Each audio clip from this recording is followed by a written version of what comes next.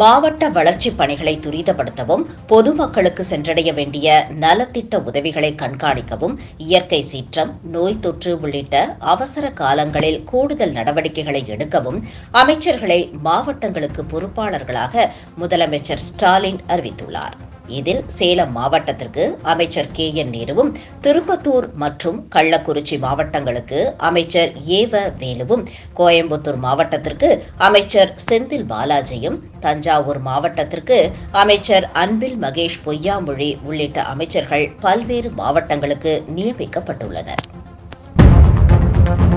கொட்டி தீர்த்த கனமழையால் கேரளா இடுக்கி அணையில் இருந்து உபரி நீர் திறந்துவிடப்பட்டுள்ளது. இரண்டாயிரத்தி பதினெட்டாம் ஆண்டிற்கு பிறகு மீண்டும் அணை திறந்துவிடப்பட்டுள்ள நிலையில் முன்னெச்சரிக்கை நடவடிக்கையாக ஆற்றங்கரையோரம் வசிக்கும் மக்கள் பாதுகாப்பான இடங்களுக்கு மாற்றப்பட்டுள்ளனர்.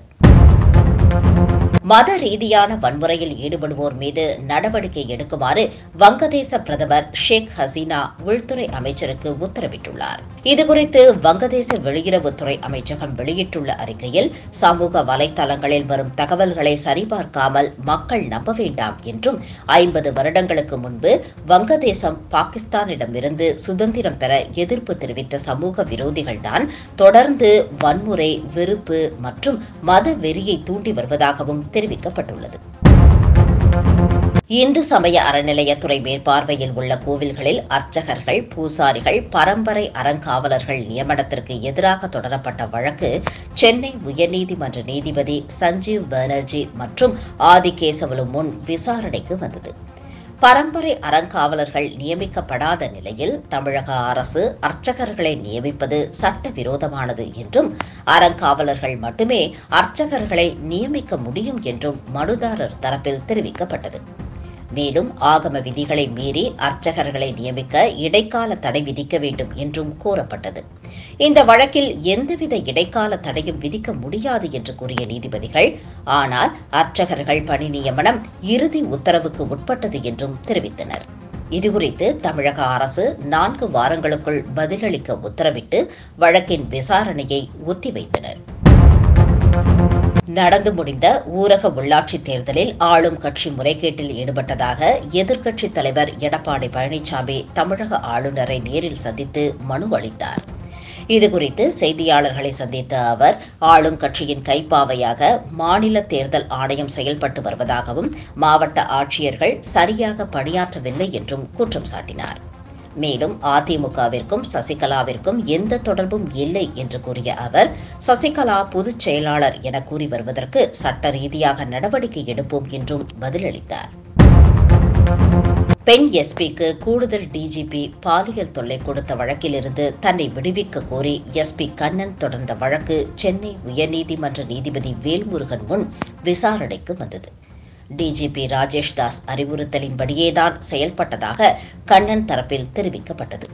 உயர் அதிகாரி கொலை செய்யச் சொன்னால் செய்வீர்களா? என்று கேட்ட நீதிபதிகள் இதுபோன்ற குற்றச்சாட்டுகளுக்கு ஆளானால் காவல்துறை மீது பொதுமக்களுக்கு எப்படி நம்பிக்கை இருக்கும் என்று கேள்வி எழுப்பி வழக்கின் விசாரணையை மூன்று மாதத்தில் முடிக்க உத்தரவிட்டனர்.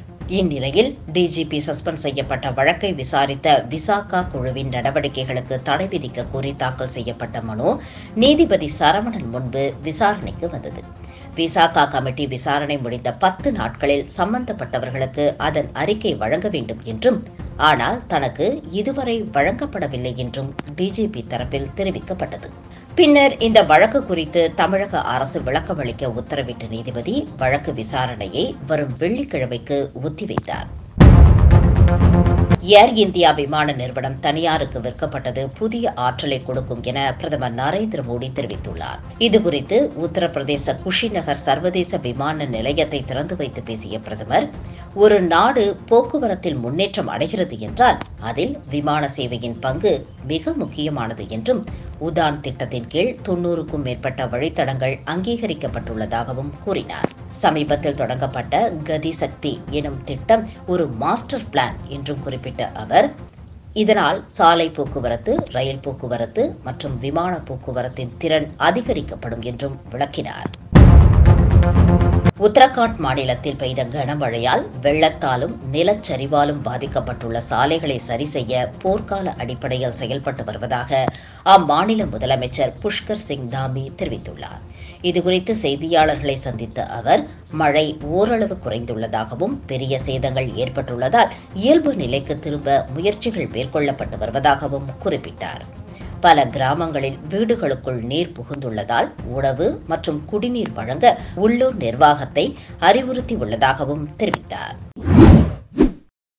நியூஸ் ரீடர் ஆகணும் இல்ல ஆங்கர் ஆகணும் மாதிரி நிறைய ஆசைகள் இருக்கலாம். பட் இதெல்லாம் வந்து எப்படி வந்து ஷோகேஸ் பண்றது? குளோபல் ஃபேஷன்ஸ் ஒரு சூப்பரான ஆப்பர்ச்சுனிட்டியை உங்களுக்காகவே கிரியேட் பண்ணி கொடுத்துருக்காங்க. கண்டிப்பா இந்த சான்ஸை மிஸ் பண்ணிடாதீங்க.